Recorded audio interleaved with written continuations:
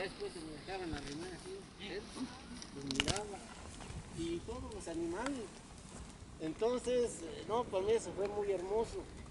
Y, y la, ya después de lo que me habían dicho, que eso, todo lo que me habían dicho lo iba yo a comprobar por mí mismo, sí, empecé a ver muchísimas cosas. Les digo que me empecé a ver en ratón. Yo era un ratón. Y conocía a mis compañeros quiénes eran ahorita, quiénes son en persona esos ratones que fueron los compañeros de este tiempo. Yo sabía al estarlos viendo quiénes son ahorita en persona. Después me vi desde ardilla y lo mismo. Sabía yo qué, qué mujeres eran esas, porque yo tenía dos ardillas como mis parejas y sabía quiénes eran ahorita, mujer, pues quiénes son. Y así tuve diferentes tipos de especies de animales, pero les digo que lo que más sufrí fue en, la especie de perro. Ah, cómo sufre un perro vagabundo cuando ni cuerpo tienes porque estás chiquito y otros te acosan duramente, la gente te apedrea y andas vagabundeando por todos lados. Qué tristeza tan grande es esa. Les digo que eso sí me, me hizo hasta llorar todavía cuando vi después ese sufrir que pasé en ese cuerpo. Y, y así fui cambiando de cuerpos y hasta que me vi ya en hombre de vuelta en otro tiempo. Entonces les digo pues que me gustó mucho porque me llegaba repetido, como que no podía entender eso, pero me lo daban casi como tres noches con la misma continuación. Y eso se trató de una hacienda vieja que está aquí en Indaparapeo, hacia acá como, es que será como a 500 o un kilómetro lo más, estaba en Indaparapeo para acá. Perdón, Roli, es de, es de- de ratón, eh, es decir, fuiste evolucionando. Sí, en, un- en animal más grande, en animal más grande. Hasta, hasta que ya fuiste. Sí, hasta que ya me vi de nombre, hombre. ¿Cómo fue el último animal antes de pasar a humano a humano? Pues eh, me vi de, de venado, me vi de, de caballo, me vi de, de este, o sea, los más chiquitos fueron primero y después, ya después fui eh, viéndome en las formas más grandes. Ibas evolucionando en. en la Ahí. Categoría,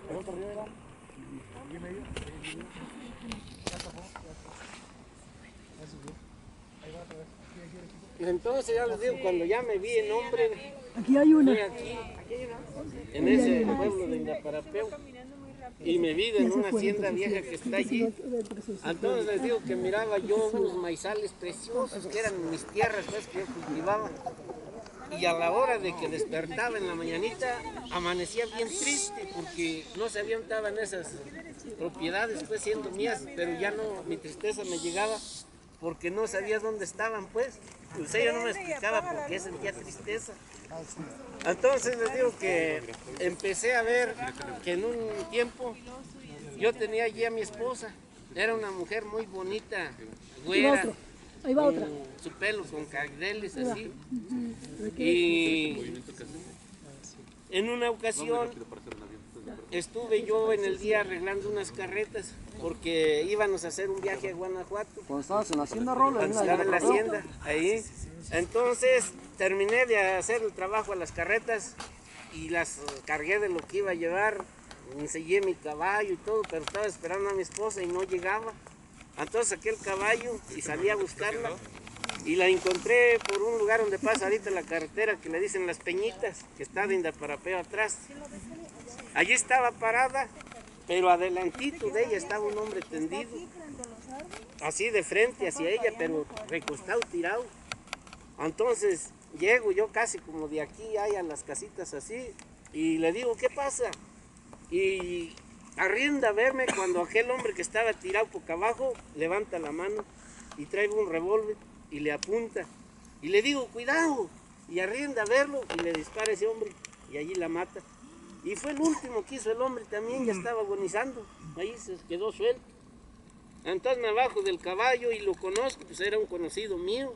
Era un rico muy famoso de esa época que tenía una hacienda muy grande adelantito de Morelia, en un pueblito que se llamaba Tiníjaro. Entonces este era muy mujeriego y esta mujer pues le atraía, era bonita y como él era muy rico. Entonces este lo conocí y agarré a mi esposa y la echo al caballo y me la llevo a la hacienda. Después regreso por ese hombre, llevo otro caballo y me lo llevo a su hacienda, hasta Morelia de aquel lado. Y me lo reciben, pero con resentimiento, pues, de que a lo mejor yo lo maté o así. Y yo se los entrego y les digo, pues yo estaba confiado de que pues, no tenía yo nada que ver de culpa en eso. Se los entrego. Pero estos al paso del tiempo como que me criminan y tratan de venir a vengarse y me matan. Entonces yo no quería hacerles daño. Yo les digo pues que yo lo que traté de fue de huir nomás, andaba huyendo. Entonces este, veo yo que antes de que pasara esto, que me mataran, todas las pertenencias de mi esposa las junto y tenía yo un hombre de mi confianza que era mi capataz, era un hombre alto que se vestía de charro negro y, y le doy un cofre de todas las alhajas de mi esposa para que me ayudara a enterrarlo. Entonces en la hacienda había dos cuartos iguales y le doy el cofre y lo entierra en la parte sur, en una esquina, y yo en la parte norte, en otra esquina, entierro tres ollas con dinero y algunas pertenencias de mi esposa. Y así pasó. Entonces me dan a ver otro capítulo donde llegaban dos jefes del gobierno a la hacienda casi cada tercer día y subíamos al piso de arriba porque tenía dos pisos la hacienda y en el despacho ahí firmaban los papeles con esos dos jefes de gobierno y traían un pelotón grande de gobierno y se iban. Pero en la visión yo no sabía cómo se llamaban esos jefes del gobierno, yo nomás los vi.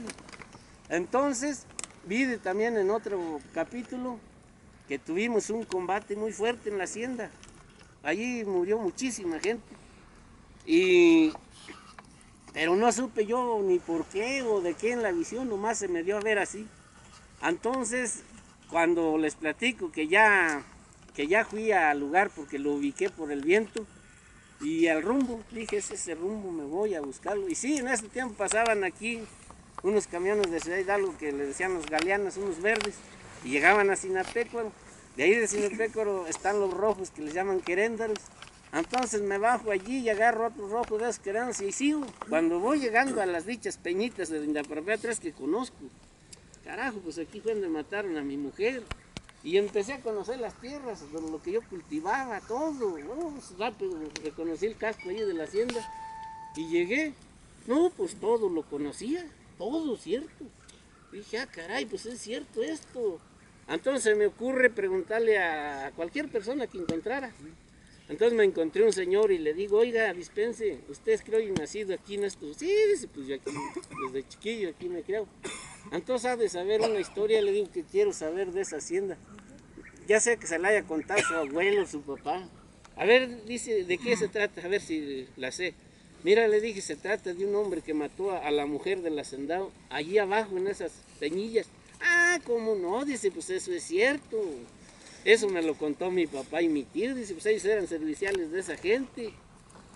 Ah, qué bueno, le dije entonces, ¿sabes qué? Le dije, no te quito más tu tiempo, nomás dime quiénes son los mayores en tu pueblo.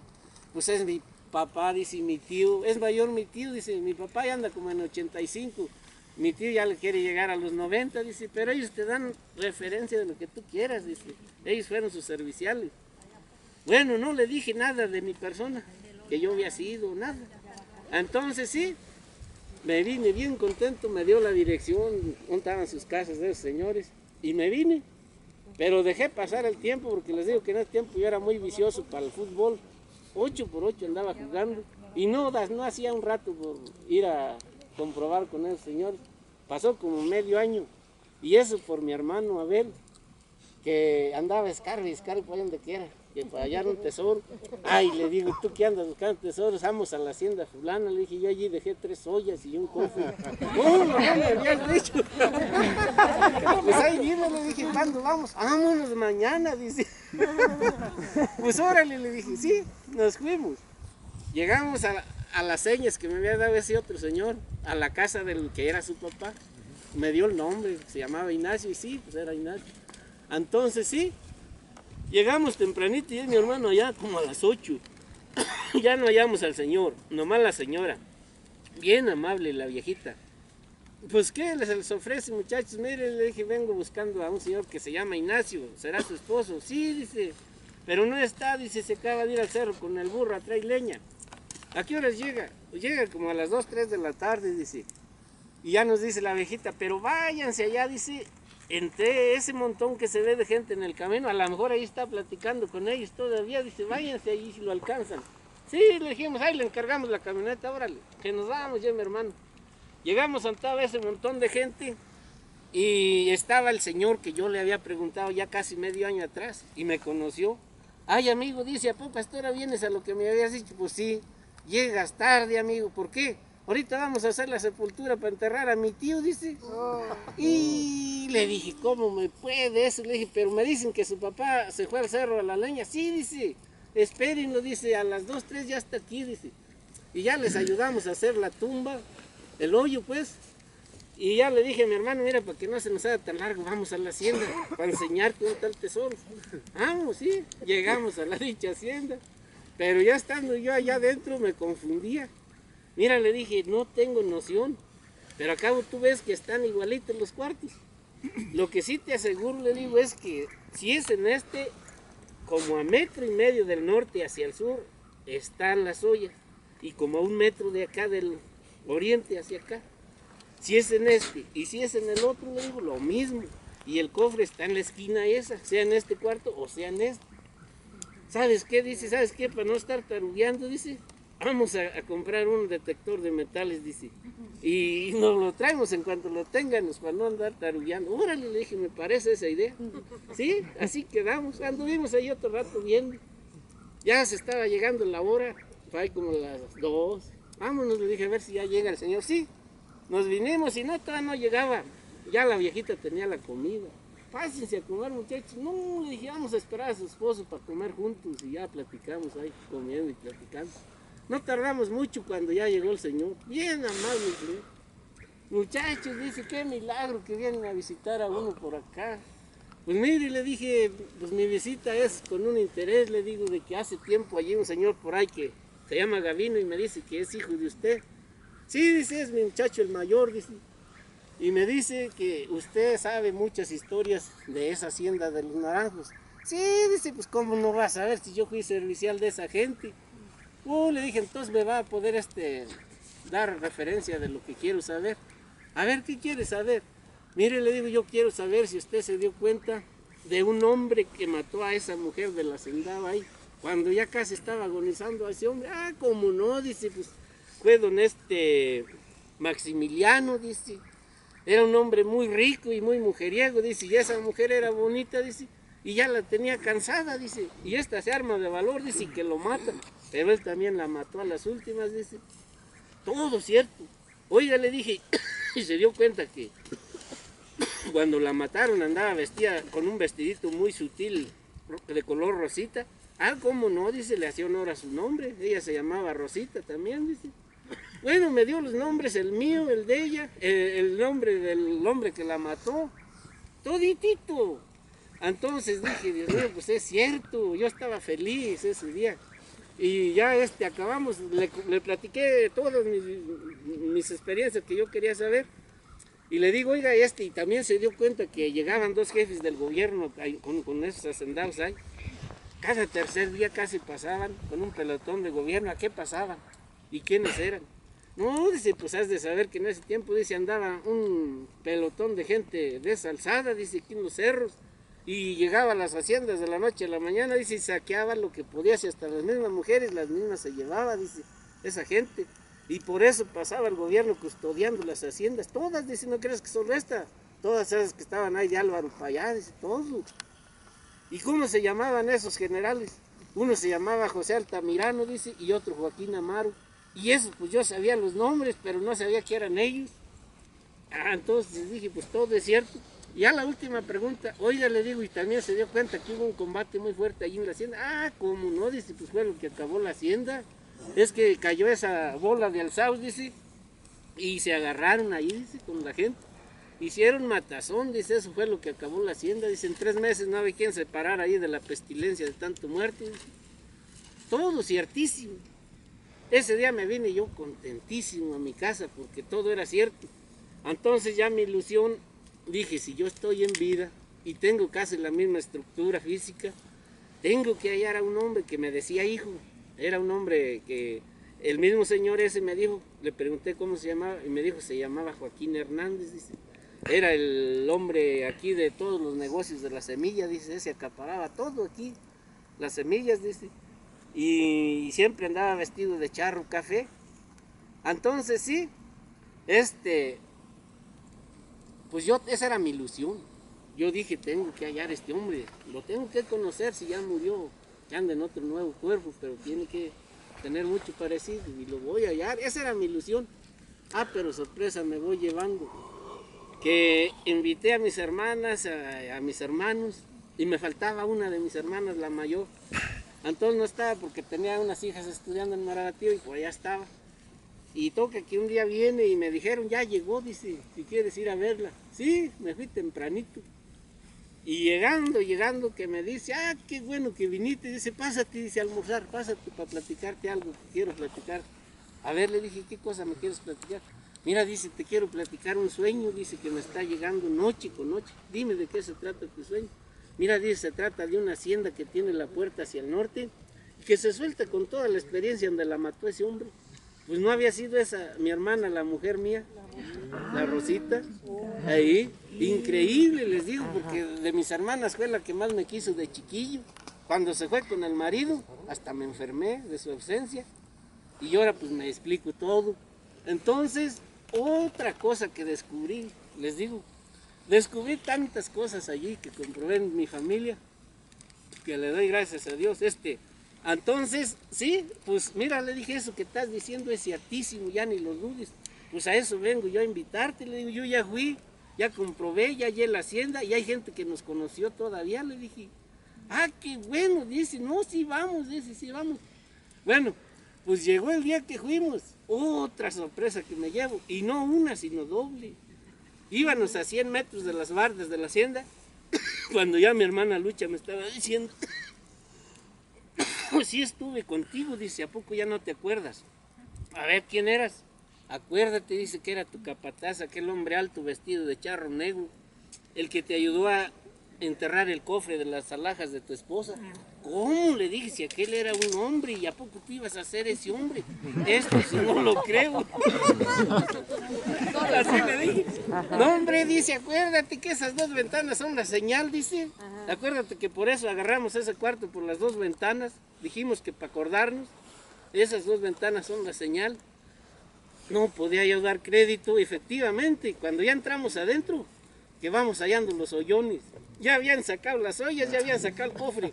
Exactamente en el cuarto de las dos ventanas. ¿Quién las había sacado? Nos quedamos pasmados, yo y mi hermano, porque llevábamos ya el aparato. Ya no agarramos nada. ya se lo habían llevado. Lo que quiere decir que ese día que estuvimos hablando, alguien andaba por fuera de las bardas y nos escuchó. Y este se nos adelantó. Y ya, ya. ¿Para quién trabaja, Ron? Sí, entonces les digo que yo no conforme, todavía quería seguir investigando más. Entonces me lancé a buscar a la, porque me dijo el señor, la, la esposa todavía vive, dice, parece que se llama Esther. Ella todavía vive, dice, don Joaquín ya murió. Y yo tenía esperanzas de que si eran mis padrinos de bodas, tuvieran fotos mías y de mi esposa. Esa era mi ilusión ahorita, de comprobar con ellos esa realidad porque en su casa yo tenía otra casa enfrente de ellos, de la calle en un lado y al otro ahí estaba la mía. Entonces sí fui y mi casa ahorita está sola, ya son las puras bardas. Yo creo que nunca tuvo otro dueño, porque ahí se quedó arrumbada y ahí se acabó, ya más están las bardillas. Y, y ella todavía vive en su casota. Entonces llegué un día a preguntar y no estaba, nomás un muchacho. No, dice, mi mamá está enferma, dice, y se fue a México, dice, pero en unos 15 días ya regresa, dice, si quiere venir, venga. Sí, le dije, voy a venir a platicar, me interesa platicar con ella. Ándale, dice, en 15 días ya la haya. Y sí, entonces regreso yo a los 15 días. Y pues ya era tardecillo, por ahí como las 9 y ya llevaba hambre. Y yo dije, para aprovechar voy a echarme un jugo ahí. Y aprovechando el tiempo también, para esto les voy a contar otra experiencia que viví. Yo no era así como muy, ¿cómo les diré? Muy recto, pues, con las mujeres. tenía una novia y ya la tenía pedida. Y ya era importante ahí en el pueblo porque era hija del presidente municipal. Entonces su casilla tenía dos pisos. Y esta la dejé plantada por la Rosita. Entonces de allí me agarraron un odio que a muerte. Entonces ese día que llego yo pues ya allí con hambre y todo, llego a un puestecito que tenía una viejita. Y le dije, déme un juguito, doña. Y aprovechando ese momento que le pregunto, oiga, le dije, este, ¿qué razón me da de la señora de don Joaquín Hernández? Pues allí vive, dice, en el centro donde mismo. Y, ¿Y qué cosa quieres saber de ella o por qué? Pues mira, le dije, es que me interesa saber si sabe ella una historia de, de un personaje que vivió aquí. ¿Quién era ese personaje?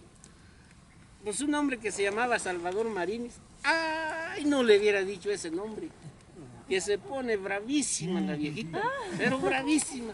Oiga, le dije, pero ¿por qué le da tanto coraje el escuchar ese nombre? ¿Cómo no me va a dar coraje con ese que sabe de qué? Dice, pero eso sí, dice que está en el infierno ahorita, dice quemándose, que sabe de qué. Pues ¿por qué le tiene coraje? Oiga, ¿cómo no le voy a tener odio y coraje? Dice, si dejó a mi hermana vestida y alborotada, el que sabe de qué, dice. Y dije yo en la torre. Entonces, Merito me descubre. Entonces le dije, oiga, le dije, ¿y cómo, ese, cómo era ese hombre que se me queda viendo? Pues igual a ti. Ah, ya ve, le dije, pues es que era un pariente lejano, por eso vengo Por poquito y me descubre. Ya les digo, y este, no, hombre, de cosas que descubrí en esa. Y, lo demás, fíjense, comprobé que todos aquellos que mueren odiándose, la ley los obliga a unirse para que se armonicen. Ese hombre que mató a mi, a mi hermana era su mismo esposo ahorita. Y ya era ella bonita, de joven, y tuvo pretendientes de a montones. Y a ver, ¿por qué no se fue con ninguno? Tuvo que irse con él, porque allí tenía ya su deuda pendiente. Y así estamos todos en la vida. Habemos quienes eh, tenemos eh, pegue, dicen, y varias interesan en uno, pero no. Tienes que llegar con el que tiene los cuentos pendientes. Sí. Ya les digo, y, y, esta es una gran verdad. Entonces platicaba yo estas cosas y me decían mucho, no, pero ¿cómo va a ser cierto eso? Jesucristo lo hubiera dicho. ¿Por iba a dejar pasar esas cosas tan importantes? Pues está dicho, lo digo en la Biblia. Búsquenla y allí está. Porque yo ya lo encontré, le digo, claro que no está diciendo allí mi nombre, pero el nombre de otros y allí está. Y es lo mismo para todos, les digo. Entonces sí, yo les digo que me da gusto que cuando ya busqué la Biblia y empecé a encontrar todo lo que me estaba pasando, uh, bendito sea Dios, digo, no estoy loco.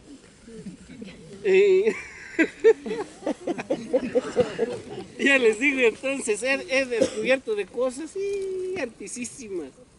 Efectivamente, todo ese dicho que vulgar que dicen lo que no puedes ver en tu casa vas a tener, ese es ciertísimo.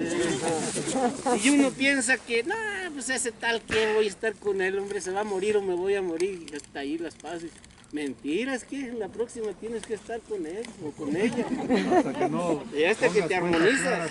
Hasta que te armonizan. Les digo, verdad de Dios, les digo que si esto lo hubieran sabido desde mucho tiempo, ni se casaría la gente. Nomás por no estar con los enemigos. ¿nunca se, ¿nunca, se te ha, ¿nunca se te ha parecido una persona aquí? ¿Eh? ¿Nunca se te ha parecido una persona aquí? O sea, mira, mañana les voy a contar la historia de aquí. A ver quién quita y sea esa que me, me dices. ¿La percibes? Pero nunca se te ha parecido un bulto o una persona a ti. ¿Aquí, aquí, aquí? Ah, no, bueno, cuando estás explorando así de noche, más o menos. Aquí. No, no le contestes. No, he tenido aquí experiencias pues con personas, pero de otro tipo. O sea, lo que puede decir viajes astrales o desdoblamiento. Mañana les voy a contar, de aquí tengo historia.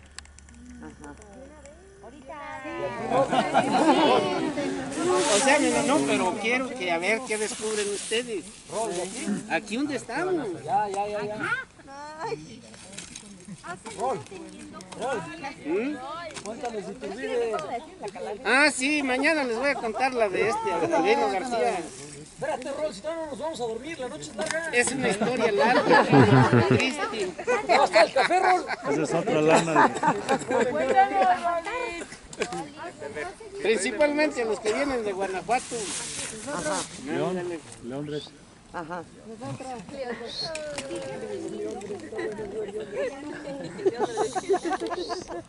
Pues mira, así físicos ya no he tenido, pero ya viajes, lo que yo le llamo viajes astrales, eh, desdoblamientos pues de tu cuerpo, eso sí.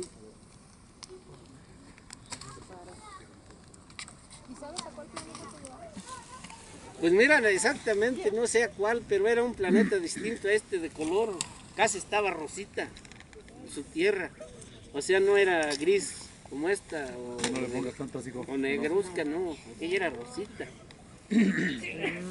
Posiblemente fue a Venus, yo le echo. ¿Quiénes eran, Ruth? No estoy segura de qué civilización venían, de dónde eran. No, eso sí, no, pero les digo, ves que son seres ya muy perfectos físicamente, Rubios y altos. rubios y altos, y, y a veces no sabes si es hombre o es mujer porque tienen un físico muy fino, de tez, pues como los ángeles, esos que pintan. Ya ves que los ángeles así les ves la cara y dices, pero si esta es mujer, hombre, el cuerpo es hombre, pero la cara es mujer. ¿Sí?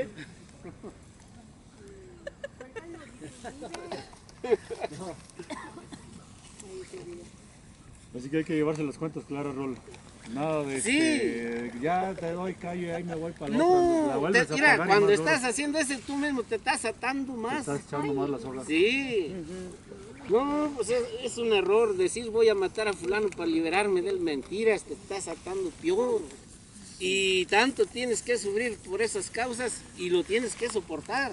Por eso hay muchos que dicen, ¿cómo aguanta ese hombre a esa mujer? Yo ya la hubiera dejado. O lo- al revés, viceversa. Pero son causas que están saldando. Causa efecto. Sí, y no pueden separarse hasta que se armonicen. Y si no pueden en esa, en la otra, pero tienen que repetir. Y ahí para casos como esos, ahí ¿qué recomiendas para que haya mucho Ah, pues choque? perdonar, perdonar al peor de los enemigos que ustedes consideren haber hecho o que tengan ahorita en un vecino. Perdonen, no sientan odio ni rencor. Armonizar. Armonizar, aunque no se lo digan, pero en su corazón, en su ser interior. Pero si unas personas nada más nos caen gordas, ¿Ah? ya nos, nos caen gordas como se dice. Pues igual, o sea, no hacer caso y agrandar las cosas porque, no porque no esto ya lo han de ver sentido. Hay personas que nomás con que las vean y les caen gordas, tanto ellas a ustedes o ustedes a ellas. Y hay otras que les caen que bien. Pero eso no afecta nada. Eso es que ya en otro tiempo han sido pareja y ya han sido felices. Y en otra han sido rivales y se han odiado y por eso todavía tienen ese rechazo. Todo está bien comprobado, les digo.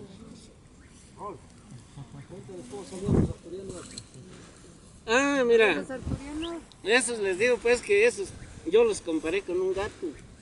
Entonces tuviste contacto con los Sí, y Sirius. Entonces esos, esos a la distancia, como de aquí donde están ellas sentadas, era, es su saludo. A ver, O sea, te hacen esto, mira, como un gato. Y tú sientes allá aquel cariño, aquella vibración. Sí, es una hermosura. Les digo ¿cómo que son? cuando yo tuve ese contacto, otro día fue el día más feliz de mi vida. O sea, yo sentía una- un gozo, una felicidad que no me explico. Les digo que para mí esa fue la más bonita experiencia con esos seres. Y altos, eso sí, casi tres metros. O sea, estuve con una muchacha que, no hombre, yo le llegaba al ombligo. Mañana se las enseño, porque la dibujé. ¿En serio? Ahí. ¿Y cómo? ¿Y ellos, pero cómo son ellos? Pues igual a nosotros, pero perfectos, pues les digo, un físico que, que no tiene pues ya cara descompuesta o diforme, no, una tez bonita, bonita. Ah. ¿Y los sirios? Igual, igual, o sea, esos se confunden unos con otros, casi parecen de la misma raza. altos y... ¿Y cómo conociste a Los Ángeles?